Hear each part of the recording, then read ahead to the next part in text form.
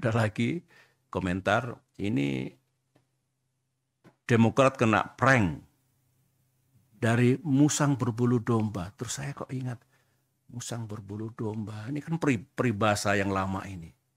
Ingat saya, kira waktu kita sekolah di SD SMP pernah belajar banyak sekali peribahasa. Tapi musang berbulu domba itu di depan bersikap baik, manis, lembut, um, penuh persahabatan. Tapi di balik itu kalau kita lemah dan lengah, itu, ini lengah ini, kita akan dicaplok dan dimakan sampai habis.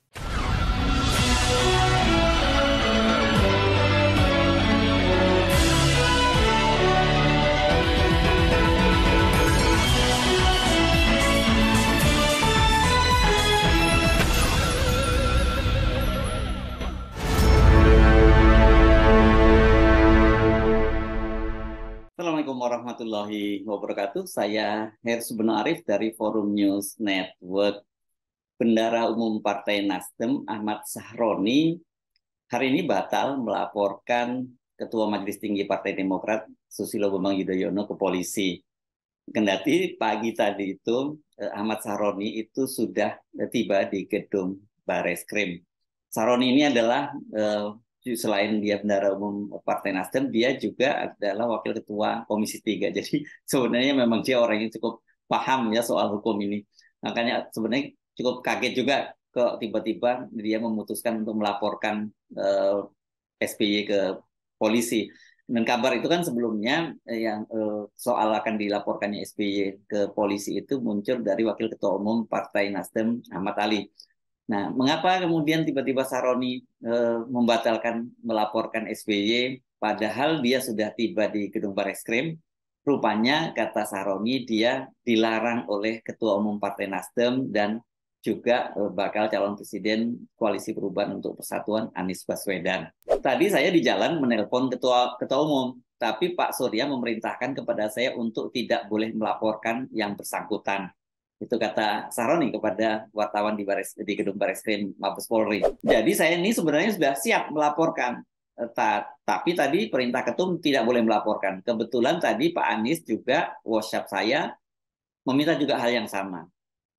Jadi Anies e, melarang Saroni, meminta Saroni untuk membatalkan laporan terhadap SBY itu karena ingin fokus ke depan dalam rangkaian pemenangan strategi eh, pemenangan calon presiden 2024. Saya kira ini langkah yang tepat yang dilakukan oleh Pak Surya Paloh dan juga Anies Baswedan.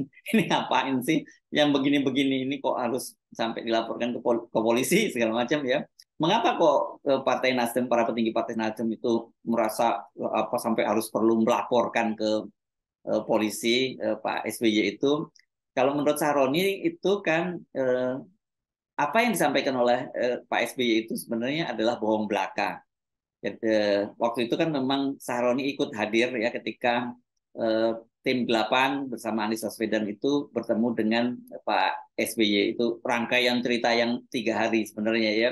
Yang Kamis eh, bertemu dengan Surya Paloh kemudian Jumatnya bertemu dengan dengan Pak eh, SBY dan pada hari Sabtunya ketemu eh, Ketua Dewan eh, Ketua Majelis Suro Eh, Partai Keadilan Sejahtera Salim Segaf Al Jufri.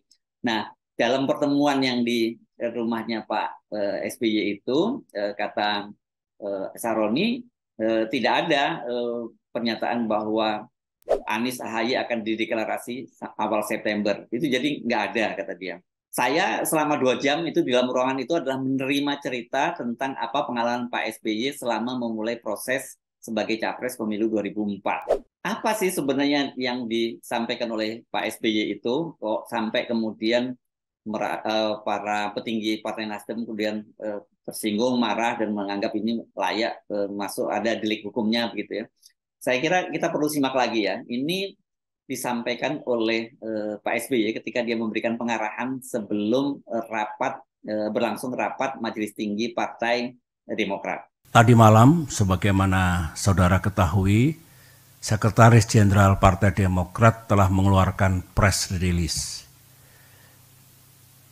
Saya yakin yang membaca terkejut, tidak menyangka ada prahara seperti ini, dan ternyata bukan hanya kader yang merespon sampai dini hari, tapi juga masyarakat luas.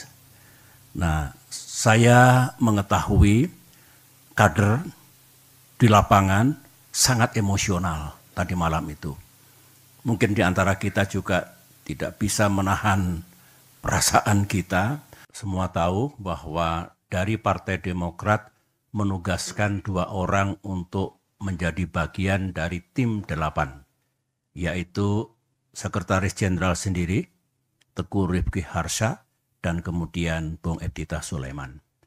Mereka bekerja siang dan malam, hampir setahun, maraton, tentu di bawah supervisi Ketua Umum selaku Wakil Ketua Majelis Tinggi Partai, dan puluhan kali bertemu dan bersama-sama dengan Capres Anies Baswedan. Dan kalau saya ikuti kerja ini tidak mudah. Banyak sekali hambatan dan tantangan, tetapi tetapi belakangan kelihatan progres yang memberikan harapan sebelum kandas dan terhempas tiga hari yang lalu. Para anggota Majelis Tinggi, para kader Demokrat, di mana pun saudara berada, saya sangat mengerti perasaan, emosi para kader. Saya minta, mari kita tenangkan hati kita, pikiran kita. Ini bukan kiamat. Ini bukan akhir dari perjuangan kita. Bukan ini harus kita maknai sebagai ujian dan cobaan yang harus kita hadapi dan kemudian kita atasi. Ingat, sesudah kesulitan atau dibalik kesulitan ada kemudahan. Wa inna ma'al yusri yusro. Betul, fa inna ma'al yusri yusro. Kita kalau melakukan kilas balik sering menghadapi goncangan dan krisis. Alhamdulillah, kita selalu bisa mengatasinya. Saya yakin ini rencana Tuhan. Dan rencana Tuhan selalu lebih indah dari rencana manusia. Insya Allah kita akan mendapatkan yang lebih baik di masa depan. Di sisi lain, meskipun kita dibeginikan oleh Capres Anies dan mitra koalisi kita, tetapi sesungguhnya kita harus bersyukur. Bersyukur kepada Allah Subhanahu wa taala bersyukur kepada Tuhan yang Maha Kuasa. Mengapa? Ini alasan saya. Pertama, ya memang kita ditelikung dan ditinggalkan. Seperti ini. Sekarang. Sekarang. Bayangkan kalau di, di, di, di telikungnya kita ini, ditinggalkannya kita ini, satu dua hari sebelum batas pendaftaran ke KPU. Bayangkan seperti apa. Kita masih ditolong oleh Allah. Kita diselamatkan oleh sejarah. Ini syukur yang pertama. Syukur yang kedua, saya renungkan baik-baik tadi malam dalam kontemplasi saya. Justru kita diselamatkan oleh Tuhan, oleh Allah apa yang saya maksudkan? Kita tidak diizinkan oleh Allah untuk mendukung seseorang dan untuk bermitra dengan orang yang lain yang kalau kita teladani akhlak pemimpin-pemimpin besar bagi yang beragama Islam, akhlak Rasulullah Ya. Yang kita rasakan sekarang ini, mereka tidak sidik, tidak jujur, tidak amanah. Berarti tidak bisa dipercaya dan mengingkari hal-hal yang telah disepakati. Tidak memegang komitmen dan janji-janjinya. Nah sekarang saja tidak sidik, tidak amanah, tidak memegang komitmennya. Bagaimana nanti kalau menjadi pemimpin dengan kekuasaan yang besar, rakyat akan diapakan? Saya kira kalau kita renungkan ini, kita ambil hikmahnya, kita dibebaskan dari dosa yang mungkin akan kita pikul kalau kita masih berada bersama-sama mereka itu dan mengusung seseorang untuk menjadi pemimpin bangsa Indonesia.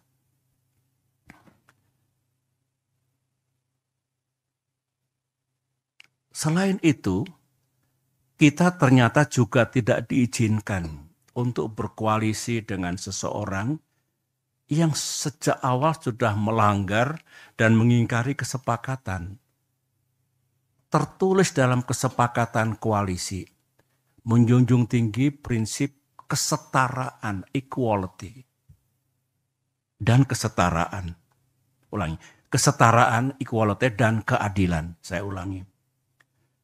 Bayangkan kalau di masa depan kita punya mitra koalisi yang tidak tunduk tidak patuh pada kesepakatan yang kita buat bersama. Apalagi kalau mendikte, mengatur yang lain, termasuk capres, memaksakan kehendak, dan tidak menganggap yang lain, saya kira bukan itu koalisi yang hendak kita bangun. Sebagaimana pengalaman pribadi saya bersama-sama dalam koalisi selama 10 tahun yang menjunjung tinggi prinsip dan nilai-nilai yang baik, utamanya kesetaraan dan keadilan. Sekali lagi, kalau saya, kita bersyukur. Karenanya, mari kita hadapi semua ujian dan cobaan ini dengan tegar. Sambil berikhtiar, kita mencari jalan keluarnya. Insya Allah Tuhan akan memberikan kita jalan terbaik ke depan ini. Para anggota majelis tinggi dan uh, para kader yang saya cintai, Ya, sebetulnya kalau jujur ya, saya pun tidak menyangka atas terjadinya kejadian itu. Tiga hari yang lalu itu. Setelah setahun lamanya kurang lebih, koalisi ini bersama-sama berikhtiar, berjuang untuk bisa menjadi kenyataan dan bisa mengusung capres dan cawapres yang kita harapkan, yang juga diinginkan oleh rakyat. Tiba-tiba terjadilah peristiwa tiga hari yang lalu itu. Kalau saya harus berterus terang, sebetulnya saya tidak naif ya. Saya juga mengerti politik. Saya pernah menjadi capres dua kali. Saya pernah bersama-sama membangun koalisi dengan mitra dan tidak ada yang saya rasakan seperti yang terjadi tiga hari yang lalu itu. Saya mengerti, ya kita semua mengerti, politik itu memang ya penuh strategi, penuh siasat, penuh taktik, caranya banyak. Tetapi saya tidak menyangka kalau tindakan itu sejauh ini menurut saya melebihi batas kepatutan moral dan etika dalam politik. Ia kasar, ya kalau bisa menggunakan istilah bahasa Inggris, it is really ugly.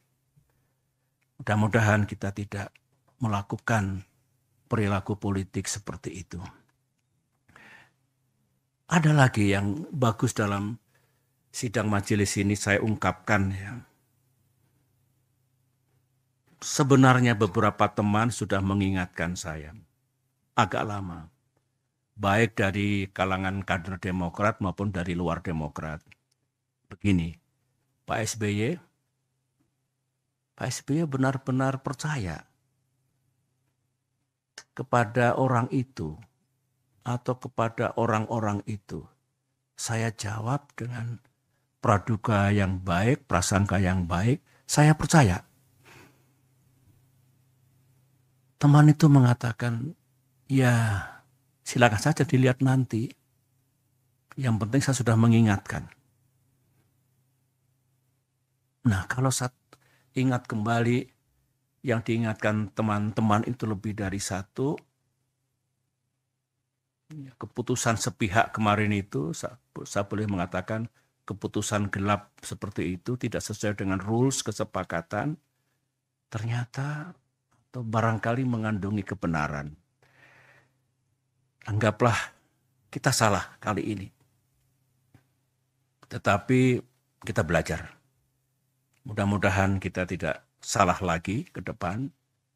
Dan mudah-mudahan dengan izin Allah dan ikhtiar kita, kita juga tidak kalah nantinya. Amin. Masih segar dalam ingatan saya sebagaimana yang disampaikan Bung Etitah tadi, di ruangan ini, saya duduk di sini, tanggal 25 Agustus 2023, berarti seminggu yang lalu.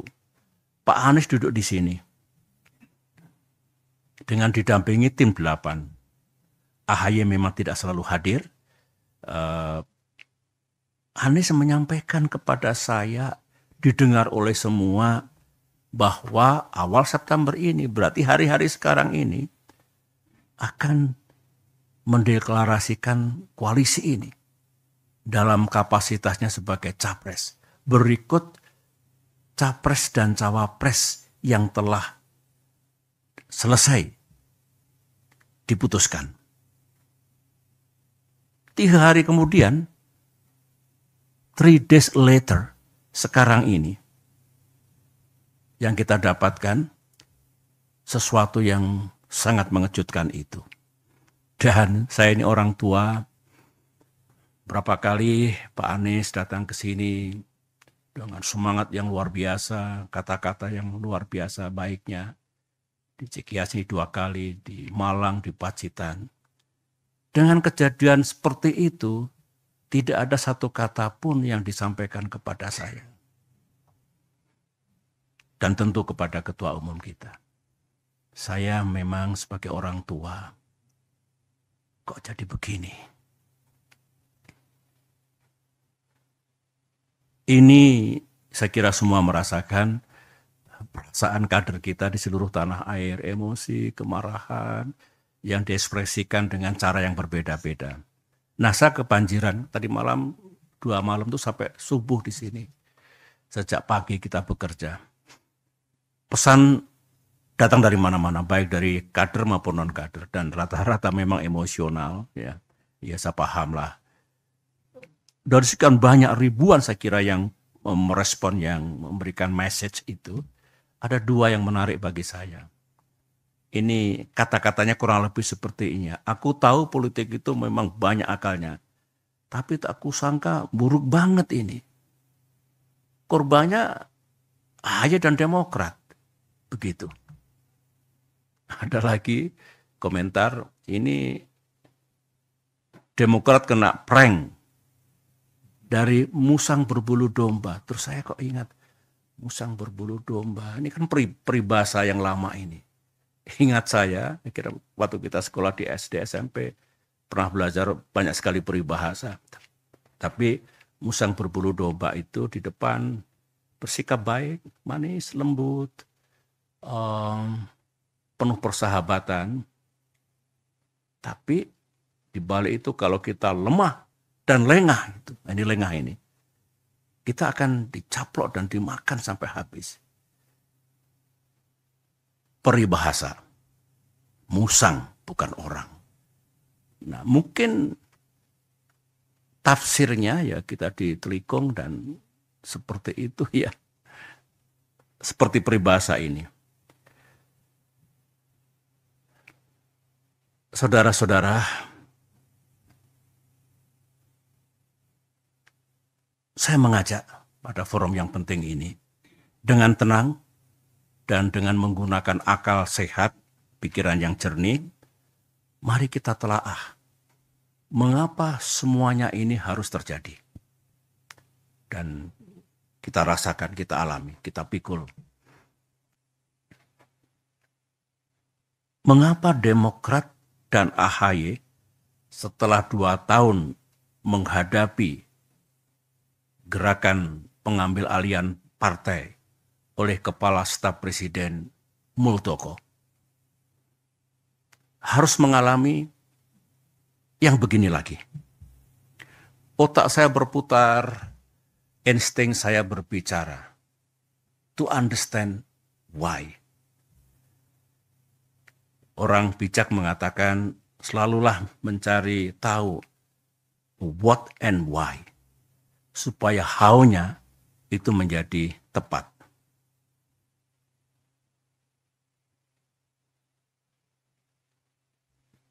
Kader Demokrat dengan pikiran yang tidak happy mengatakan, Pak kok kita ini Demokrat ini ya memang kita oposisi, tapi oposisi ini kan sah. Kok diperlakukan sebagai musuh negara? Kita ini kan bukan partai terlarang. Kader-kader Demokrat juga bukan teroris. Jadi mestinya diperlakukan sama lah dengan warga negara yang lain. Itu ekspresi kegalauan dirinya ya, yang saya selalu tekun mendengarkannya. Oleh karena itu dengan tidak bermaksud menuduh siapa pun, saya ulangi lagi, tanpa bermaksud menuduh siapa pun, saya ingin berbagi dengan saudara. Saya yakin saudara juga mendengar. Sebagian juga datang dari yang ada di ruangan ini maupun yang tidak ada di, dari ruangan ini. Saya sendiri kan juga banyak mendengar dan mengetahui mana sih di era keterbukaan, open society, uh, digital society ini yang serba rahasia. Apa yang terjadi dan tidak terjadi, apa yang dilakukan oleh para elit, petinggi partai, atau pejabat tingkat puncak, tingkat atas. Ini kan sebetulnya diketahui oleh publik. Diketahui oleh masyarakat luas terutama yang menjadi sorotan publik yang berkaitan dengan Pilpres 2024 ini. Mari kita ingat semuanya, apa yang pernah kita dengar, yang pernah kita ketahui, untuk mencari benang merah. Kira-kira apa ya? Tanpa sekali lagi menuduh dan uh, mendiskreditkan siapa pun. Karena kita hanya ingin bicara tentang fakta, kebenaran, dan dugaan-dugaan yang uh, mengandungi logika. Satu, kita semua tahu, Bapak Ibu, memang ada keinginan untuk hanya terbentuk dua pasangan saja, pasangan capres dan cawapres dalam Pilpres 2024 ini. Ada. Jangan ada dusta di antara kita, ada itu. Kita juga tahu ada upaya dan pekerjaan politik untuk membuat koalisi perubahan. Di dalamnya ada Nasdem, ada PKS, ada Demokrat. Itu tidak bisa berlayar. Ada. Kita juga tahu, termasuk informasi yang sangat sensitif untuk membuat pasangan Anies Ahaye yang sudah menjadi rahasia umum, yang sudah matang sebetulnya sebelum terjadi perhara tiga hari yang lalu itu, pasangan itu tidak akan terjadi. Informasi yang saya dengar ini pekerjaan politik tingkat tinggi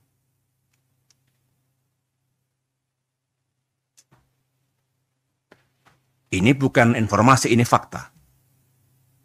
Benar ternyata Anies Ahaye yang hampir matang untuk diluncurkan dan banyak diketahui oleh masyarakat luas, itu terbukti bisa digagalkan. Melalui apa yang tadi itu yang diceritakan oleh uh, Bung Ititah melalui press release yang telah kita sampaikan.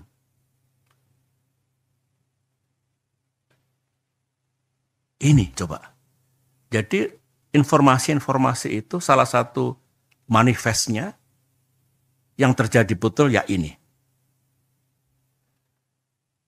Kita juga tahu seorang menteri sekarang ini, menteri masih aktif dari Kabinet Kerja Pimpinan Presiden Jokowi, secara intensif melakukan lobby, termasuk kepada Partai Demokrat, dengan menawarkan mengajak membentuk koalisi yang baru. Koalisi NAS ulangi. Koalisi Demokrat, PKS dan P3. Yang bersangkutan mengatakan yang disampaikan itu inisiatif ini sudah sepengetahuan Pak Lurah. Kata-kata sang menteri. Bukan kata-kata saya. Kata-kata yang bersangkutan. Dari semua hal yang kita sudah tahu itu, bahkan sebagian bukan hanya informasi, tapi sudah menjadi kenyataan, jadi fakta, kita mulai tertarik dengan informasi yang lain. Saya mengatakan, kita tertarik, saya tertarik secara pribadi dengan informasi yang lain. Katanya, sekali lagi informasi, semua gerakan, manuver, proses politik yang seperti ini penuh dengan hingar-bingar, yang berkaitan dengan koalisi dan pasangan capres dan cawapres, katanya ada mastermind-nya. Saya tidak tahu siapa. Katanya ada dalangnya. Ada persekongkolan untuk mengeksekusinya, untuk menjalankannya. Informasi saya masih bisa bicara lebih banyak lagi sebetulnya tentang sesuatu yang menurut saya mengandungi keganjilan, keanehan yang tidak wajar gitu ya. Tapi lebih baik saya berhenti di sini untuk mengupas tentang what's really happening in this country, termasuk informasi tadi. Karena saya yakin pada saatnya nanti semua yang sekarang menjadi pergunjingan, spekulasi, samar-samar tidak terang. Pada saatnya nanti, semuanya akan terang benderang di hadapan rakyat Indonesia. Bapak, Ibu, saudara-saudara, para kader, nah, menarik uh, ajakan beberapa pihak terhadap Partai Demokrat untuk berjuang bersama. Saya kira rakyat mengetahui, ya, misalnya pihak Pak Ganjar, Capres Ganjar Pranowo, itu juga mengajak kalau Partai Demokrat bisa bergabung ke pihak beliau. Ditandai pertemuan Mbak Puan dengan AHY beberapa saat yang lalu. Yang kedua, Pak Prabowo, beliau datang ke Pacitan menemui saya dan menyampaikan juga ajakannya. Saya harus jujur mengatakan bahwa cara seperti itu adalah cara yang baik. Sah, tidak salah, dan dibenarkan dalam demokrasi dalam dunia politik, ajakannya pun saya dengarkan juga tulus dan serius. Dilakukan secara terbuka, publik juga tahu. Ini kan baik untuk transparansi politik. Dibandingkan manuver bawah tanah yang penuh dengan misteri. Ini enak nih, terbuka, transparan. Memang menyampaikan dengan baik, kita sambut dengan baik. Mbak Puan, Ibu Puan, Pak Prabowo, karena respon kita juga, karenanya respon kita juga positif. Kita menghormati, kita menghargai. Bahkan kami bersetuju untuk menjalin, menjaga komunikasi. Kalau tujuannya baik, untuk kepentingan bangsa, Demokrat wajib meresponnya dengan baik. Tentang nanti ke mana kita berada, inilah yang nanti akan kita bicarakan baik-baik. Saya akan sampai di situ nanti. Nah, kembali kepada semua tadi, uh, saya sudah plong karena sudah menyampaikan informasi hal-hal yang saya ketahui dengan sejumlah analisis agar para anggota majelis tinggi partai juga lebih lengkap lagi pengetahuan tentang hal-hal yang berkaitan dengan koalisi dan uh, pasangan capres-cawapres dalam Pilpres 2024 mendatang.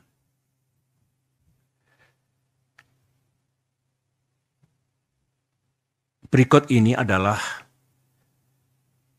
apa yang bakal terjadi di arena publik pasca press release Demokrat tadi malam, last night, dan juga pasca apa yang saya sampaikan sekarang ini dalam uh, sidang majelis tinggi partai.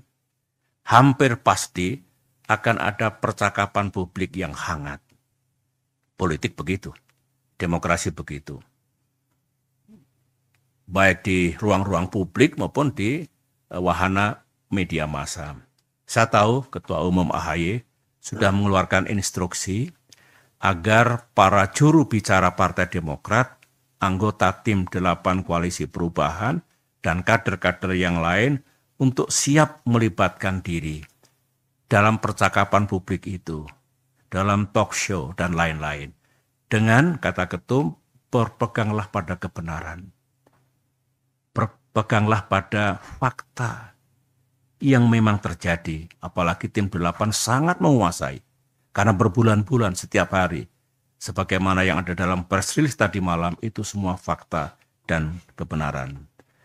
Uh, saya mendengar uh, tekad ketua umum kita, kalau kita sudah bicara sesuai dengan fakta dan kebenaran. Ada yang menyangkal dan mengatakan Demokrat salah, seorang AHY siap untuk dikonfrontir dengan siapa pun asalkan di depan televisi secara live didengar oleh publik.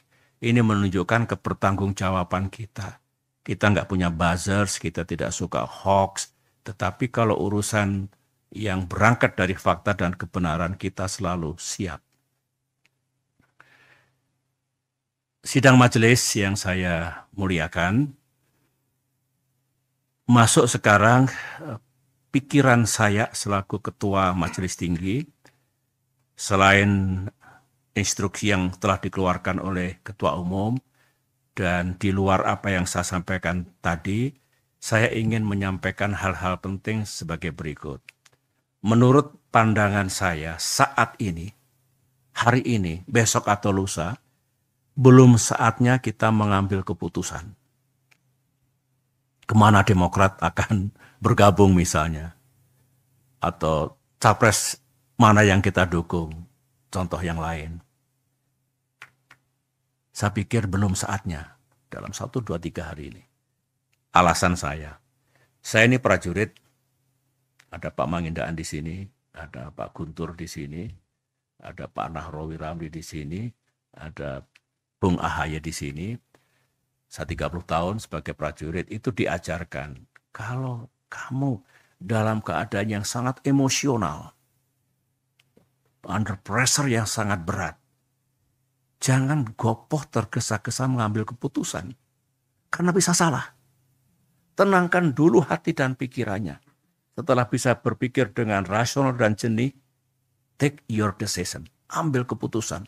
Ambil apa tindakan yang akan dilaksanakan. Tidak berarti lama, bisa cepat juga, tetapi kuncinya lepaskan dulu emosi itu. Bikin semuanya rasional dan tenang, sehingga keputusannya insya Allah tidak salah. Keputusannya tepat. Implementasinya, mari tenangkan hati kita.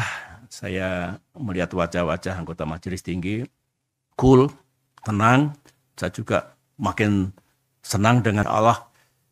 Dalam waktu yang tidak terlalu lama pun kita sudah bisa mengambil sikap dan pilihan kita. Karena itu banyak pers di luar mungkin ada ada lebih dari 20 enggak? Lebih ya? Lebih banyak lagi ya. Ingin dengar apa keputusan dan sikap dan langkah-langkah Demokrat ke depan. Ya tentu kita bisa jelaskan baik-baik apa yang sedang kita lakukan dan apa yang hendak kita lakukan di hari-hari mendatang.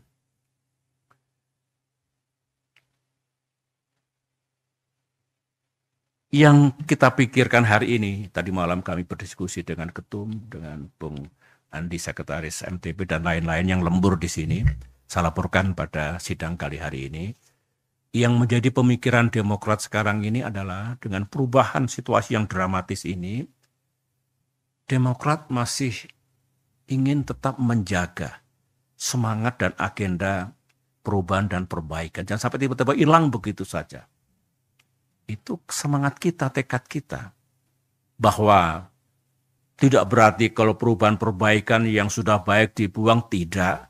Ketum menjelaskan dalam pidato politik kemarin secara komprehensif yang menjadi bagian dari kerangka bernegara, pilar dan dasar bernegara Pancasila, NKRI, Bhinneka Tunggal Ika, konstitusi kita, demokrasi, tidak mungkin kita uh, tinggalkan, justru makin kita perkuat.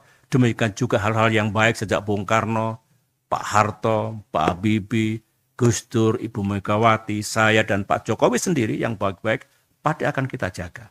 Namun memang ada sejumlah hal yang perlu kita perbaiki.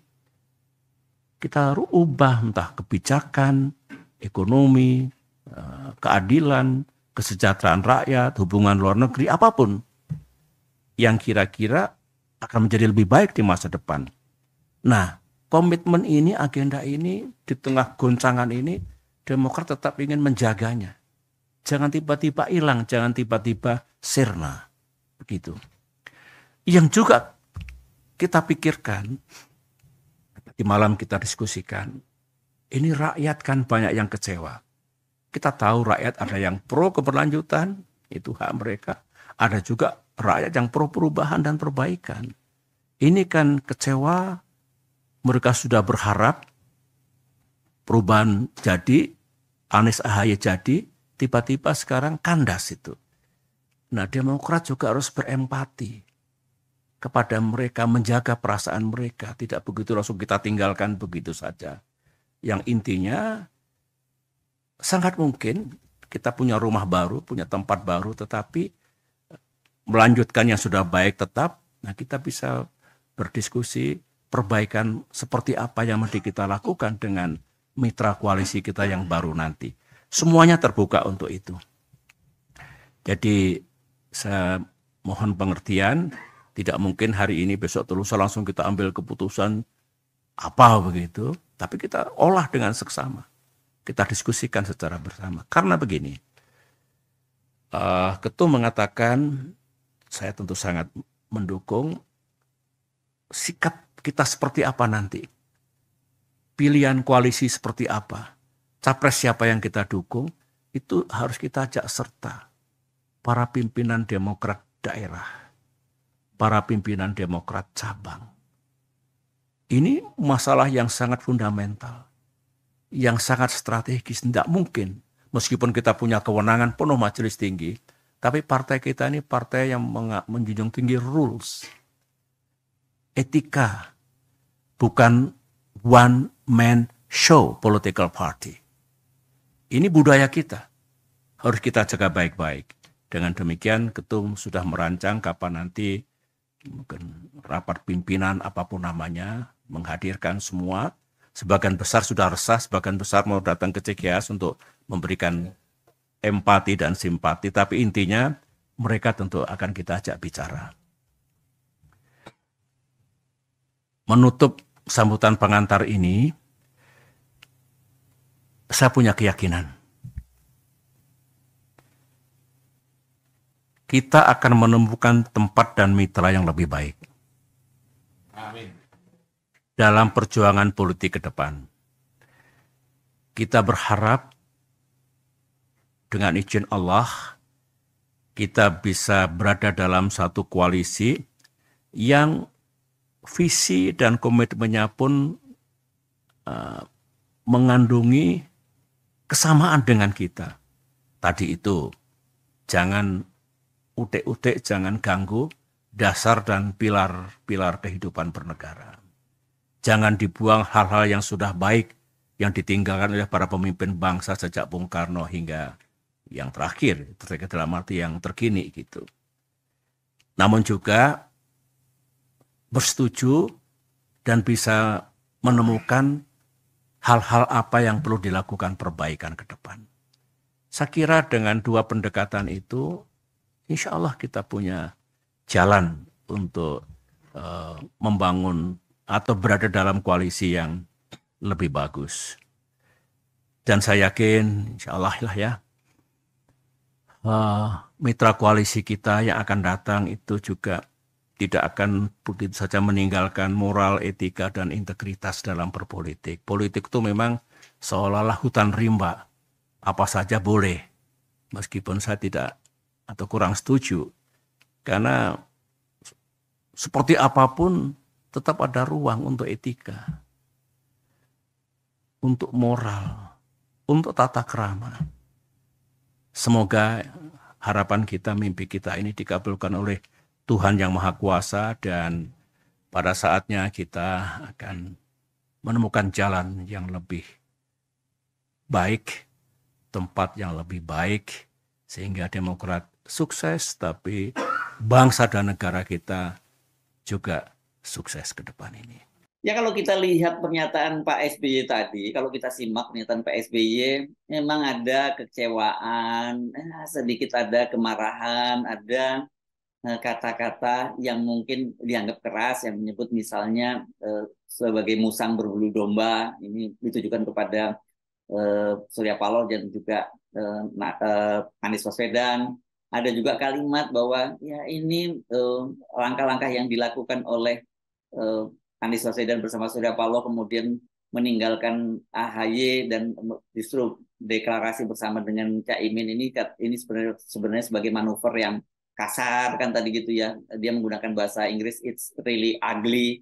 Apa ya kalau terjemahannya ini ya. Kasar ini benar-benar perilaku yang buruk ya perilaku yang jelek gitu ya. Tapi kalau dalam politik kan sebenarnya begini harusnya biasa-biasa saja ya. Nah apalagi kan namanya orang yang lagi marah dan kecewa. Jadi harusnya eh, Partai Nasdem yang santai saja dan nganggap ya Pak itu Pak SBY itu perlu merasa curhat gitu. Jadi muncul kata-kata yang tadi. Tapi maksud yang gitu aja juga harus dilaporkan ke polisi kan. Ini gawat nih ya. Kalau kita sekarang ini kita salah ngomong saja di media itu eh, atau kita ceramah atau eh, tampil podcast seperti ini kemudian salah ngomong dilaporkan ke polisi. Nah ini ini ini kan berlaku buat buat kita para aktivis gitu. Tapi kalau kemudian para politisi setiap kali ribut-ribut kemudian saling serang memberikan apa saling serang statementnya lapor polisi kan ini jadi jadi kacau juga nih jadi saya kira keputusan dari Pak Surya Paloh dan Anies Baswedan untuk mencegah mereka membatalkan untuk melaporkan Pak eh, SBY ini langkah yang bijak apalagi kan belakangan ini dalam beberapa hari ini kan ada banyak sekali eh, eh bukan hanya dari internal ya kalau dari internal kan ada pernyataan dari Sudirman Said, juru bicara Anies Baswedan, ada dari PKS yang berharap agar Demokrat itu ya balik lagi lah ke koalisi perubahan persatuan. Jadi kalau kemudian eh, sekarang dilaporkan, ini kan ya akan menutup pintu dong untuk eh, Demokrat eh, akan kembali. Karena ini mereka sudah berkonflik secara hukum. Jadi tidak mungkin kalau kemudian Demokrat tiba-tiba balik lagi eh, apa ke koalisi perubahan persatuan ya, jadi uh, ini memang penuh drama ya apa yang terjadi yang uh, pencapresan Anies Baswedan ini ya uh, drama batalnya dengan AHY dan kemudian kok tiba-tiba yang dipilih uh, Caimin ini juga uh, banyak orang yang sama sekali tidak tidak terbayang ya. Jadi wajar kalau orang di luar saja itu terkaget-kaget dengan manuver yang dilakukan oleh Surya Paloh Caimin dan Anies gitu ya apalagi Demokrat jadi sekali lagi, ya orang namanya lagi lagi patah hati, kemudian curhat, masa dilaporkan ke polisi. Saya Harus Munarif dari Forum News Network. Sampai jumpa lagi. Wassalamualaikum warahmatullahi wabarakatuh.